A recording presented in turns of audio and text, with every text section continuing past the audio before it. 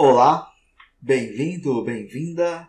Eu sou Rogério. Vou falar um pouco mais a respeito do concurso público de professores do Estado de São Paulo. Você sabe que tem uma videoaula durante a prova. Essa videoaula, importante observar que tem que ser lançada antes da prova objetiva, até o dia 25 de julho, na verdade. Então você tem aí mais um mês pela frente. Porém, eu já adiantei, já enviei minha videoaula. Não gosto de ficar postergando muito as coisas não, porque de repente fica muito em cima e a gente não sabe que situação pode acontecer. Eu aproveitei um momento em que havia um silêncio aqui em casa, gravei à noite, então, é, no meu entender, deu tudo certo. Eu quero compartilhar com vocês algumas observações, alguns critérios técnicos que eu utilizei para a gravação do vídeo, que não ficou muito claro no último que eu fiz. Então aqui é mais com relação ao suporte tecnológico de como que você vai fazer esses vídeos. Primeiro ponto, como é que eu gravei o meu vídeo? Eu estou deixando na descrição do vídeo o link do Colabora Concursos, a postagem que eu fiz, que lá tem para você baixar, no final da postagem, está lá embaixo, você pode baixar o Camtasia, acho que é, eu falo Camtasia, mas é Camtasia, Camtasia 8, Camtasia Studio, que é um editor de vídeo, e o Audacity, que é um editor de áudio. Então, primeiro ponto, como que eu gravei? Eu gravei em frente a um quadro branco com a webcam. A webcam que eu tenho é a Logitech Brio 4K. É assim, é uma webcam com a resolução muito boa. É, se compara a resolução de vários e vários celulares, não é uma câmera barata. Então, assim, se você não tem condições de comprar uma webcam dessa potência, porque ela custa entre 1.300 e 1.500 reais, não é barato mesmo. Aí você pode usar o celular mesmo, mas eu aconselho você, porque tem a parte do áudio. Como é que eu gravei meu áudio? Eu tenho um microfone aqui, que é o Arcano Black ele custa aí o microfone 300 reais, 350, 400, depende é, da loja, né? Então também não é tão barato. Eu usei o, o computador, desktop, com, com a câmera ligada nele e o microfone também ligado no computador. Depois eu fiz a junção, na hora de editar o vídeo, a junção entre o áudio, que você sincroniza né, o áudio com o vídeo, bateu certinho ali, beleza. Fiz a edição do vídeo que é bem simples. Tá, eu gravei com a webcam.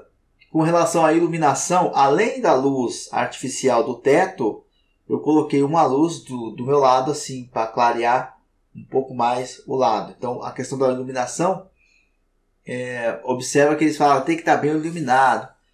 Se você gravar de dia, você abre a janela da sua casa. Já, só que aí a questão dos barulhos externos podem ser bastante frequentes. Então, a luz do, do sol, essas, né, não tem o que discutir. Essa é, é a luz mesmo que vai clarear tudo. Agora, se você está no ambiente fechado, tenta, se, se for possível, tenta colocar mais uma luz ou, ou duas. Né? O, o, ideal seria uma luz no teto, uma do lado direito e outra do lado esquerdo. Assim para você, né? uma no teto outras duas em sua direção, que aí ilumina muito bem o cenário. Tá? Mas se não for possível, vai só a luz do teto mesmo. Mas é, lembre de, de observar, ver se não está muito escura a imagem. É, a webcam, por exemplo, ela tem uma, uma ferramenta aqui que ela própria clareia a imagem. Não sei se é possível no celular, ver se no celular tem essa essa, esse ganho de iluminação pelo próprio aparelho. Às vezes o ambiente está um pouco escuro, mas a câmera ela tem um, um, uma ferramenta que clareia um pouco mais a imagem. Isso aí já vai auxiliar bastante para o examinador da banca organizadora. Então, a questão da iluminação é isso. Você ou é, você pode usar a luz do sol normal com a janela aberta uma luz do teto, mas aí que, que tenha esse ganho de iluminação, acho que uma luz só é pouco. Ou você faz adaptação à luz do teto e coloca duas luzes aí, um abajur, um abajur lado esquerdo, um abajur do lado direito, para poder fazer esse clareamento aí do local, tá? Não quer dizer assim que ah, tá escuro, eles não vão avaliar.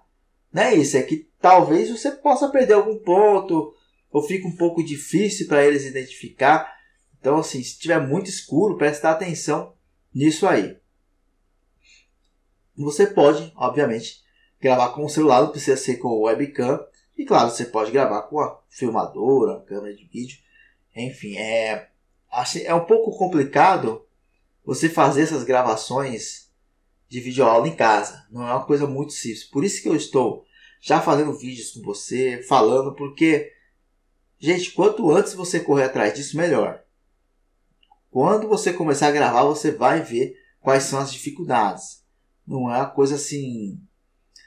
Dar aula é mais simples do que você fazer a edição do vídeo. Essa é a verdade. Ah, então, uma outra dica: quando você for gravar, lembre-se, é como se você estivesse numa sala de aula. Fala de uma vez, não, não fica parando depois fazer corte no vídeo. Não pode ter corte no seu vídeo.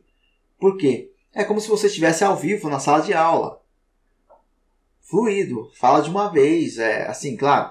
Vou dar umas pausas para respirar. Sim. Meu vídeo, eu fiquei assim falando, falando, não. Fui explicando. É, usei três exemplos. O primeiro eu falei o, o exemplo, escrevi na lousa, né, no quadro branco. Nesses momentos que você escreve, você dá uma respirada vai falando. Não precisa né, narrar um jogo de futebol em rádio. Não é isso. Tá? Mas não pode ter paradas. Né? Parar e ficar pensando ah, o que, que você vai falar. Por isso que tem que pesquisar bem a respeito do assunto para você de uma maneira natural. Né? Não ficar pensando, pensando o que vai falar, tipo, fugindo o assunto. Isso não pode acontecer. Aí depois querer fazer um corte no vídeo, pior ainda. Na edição do vídeo, só tem que ter o corte no início, que é antes de você começar, que você está arrumando ali as coisas, você corta esse início já vai para a parte que você começa a dar as boas-vindas para a turma. Uma coisa importante. Professor, como é que eu começo? Eu falo meu nome? Não, não precisa. Eu iniciei assim. Boa tarde, turma. Hoje vamos trabalhar com um determinado assunto. Por quê? Parta do pressuposto que a turma já te conhece. Porque os conteúdos que a, a VUNESP colocou lá para você se pautar, em dar a aula são todos conteúdos de, de ano letivo já corrente. Como se estivesse no meio do ano, ali, enfim, no terceiro, quarto bimestre. Não é uma coisa. É, não é uma apresentação. Tipo, você não precisa falar seu nome. Ah, é prazer, eu sou professor. Não precisa. A turma já te conhece. Você já começa falando o que, que vai trabalhar. Né? Dá só, claro. Dá uma boa tarde, umas boas-vindas, né? Olá, né? chama a turma, olá, para atenção, mas você não precisa chegar assim e falar: Olá, alunos, eu sou o professor Rogério Ferreira, hoje vamos trabalhar. Não precisa, eles sabem que você é o professor da sala. Tá bom? Fica é, essa dica aí. Então, é, não fica pensando no que você vai falar. Tá? Estuda bem, pesquisa qual tema que você escolheu.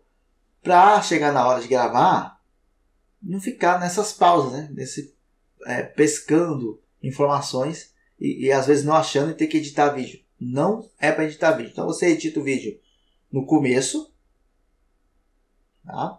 E no final, quando você finaliza o vídeo, aí você vai lá desligar a câmera. Essa parte você cortou também. É isso. Né? Eu finalizei assim. É, até a próxima aula. Eu finalizei assim, né? Mas enfim, você escolhe como é que você finaliza. É, aí até a próxima aula. Aí dei aquele sorrisinho, cortei. Cortei o restante. Porque aí ficou só a parte da aula mesmo. É isso que eles querem. Tá? Pode fazer assim, corta o início e o fim, que é exatamente isso. E no meio, não tenha pausas. Pausas longas, tipo, você está falando um assunto aí para. Aí fica assim, né? Ah, o que, que era mesmo? Ah, lembrei. Hum, não pega bem, tá bom? demonstra um pouco de falta de conhecimento do assunto para quem vê de fora. Então fica mais essa observação aí. Tá? Então você usa a câmera, faz esse, esse corte no vídeo. O Audacity, o Audacity é um editor de, de áudio. A gente vai usar ele para quê? Para retirar o ruído, porque a, na banca organizadora fala que não, não pode ter ruídos e a gente tira. Mais para frente eu faço um vídeo explicando como é que usa essa ferramenta de áudio aí. Então, é, eu acho importante você usar o áudio fora do, do vídeo, por exemplo. Tem celular que grava a imagem e o áudio ao mesmo tempo. Mas eu acho que não fica bom. Eu acho que você deve usar o áudio por fora, usando uma lapela. Então eu aconselho pegar um celular emprestado de alguém e fazer a gravação do áudio na, com a lapela. A lapela é aquele microfone que você coloca aqui na roupa. E é baratinho, 20 reais. Ou você faz que nem eu fiz. Tá? Com o computador, com webcam boa, com um microfone ligado no computador também bom. Você faz assim também. Ah, mas para quem não tem condições, usa de lapela com, com outro celular. Aí um celular grava o áudio, o outro grava o vídeo. Aí lá no, no Camtasia você junta os dois. Só que aí, antes de juntar os dois, você faz a edição do áudio no Audacity. Que vai o quê? De repente, por alguma circunstância, o, o áudio não ficou, ficou um pouco baixo, dá para aumentar um pouquinho esse áudio. Não aumentar muito, aumentar um pouquinho. E também para retirar ruídos. Tá? Você retira, você aumenta um pouquinho, é, faz a distorção que fala, né, que é equalizar entre um pico muito alto e um pico muito baixo. Então fica mais ou menos ali próximos. Não quer dizer que vai ficar retinho, não, é só um pouquinho que a gente faz para ficar próximos e retirar o, o ruído principalmente. Tá? Essa é a parte é, principal que eu uso no áudio, na edição de áudio, que é tirar o ruído. Então, como é que você vai tirar ruído? Então, antes de começar a videoaula, você para uns 5, 6 segundos antes de começar e deixa o ruído rolando. Você vai retirar esse ruído do começo, que aí ele sai do, do vídeo inteiro. A pessoa não vai ouvir esse tipo de ruído. Então fica a dica aí. É, em uma outra oportunidade a gente pode trabalhar com a edição aí do áudio. Comenta aí o que, que a gente pode fazer, tá? Até para me ajudar a orientar vocês. Qual a dificuldade? Você quer que eu faça um vídeo explicando a edição do áudio, a edição do vídeo? Comenta aí que mais para frente eu estudo o que, que a gente pode fazer para ajudar. Na descrição do vídeo tem um link do Colabora Concursos. Lá tem para você baixar o Camtasia e o Audacity. O Audacity é gratuito, o Camtasia 30 dias.